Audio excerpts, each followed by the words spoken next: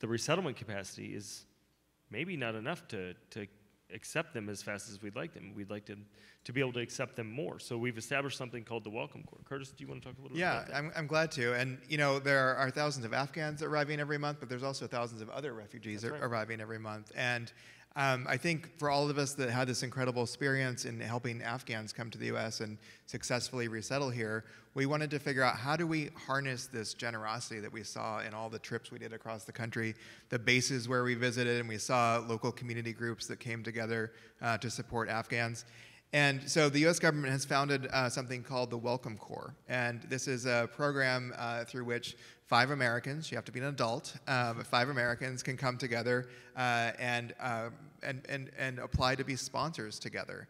And what you really do is you take over the role of the formal resettlement agencies, the formal resettlement infrastructure in the US, and you uh, help provide those services yourself. So one person in the group might sign up to help get the kids registered for school uh, before the school year starts. Another might uh, sign up the parents for job training or English lessons, take them to the grocery store for the first time, help them understand how, how a grocery store works in the United States.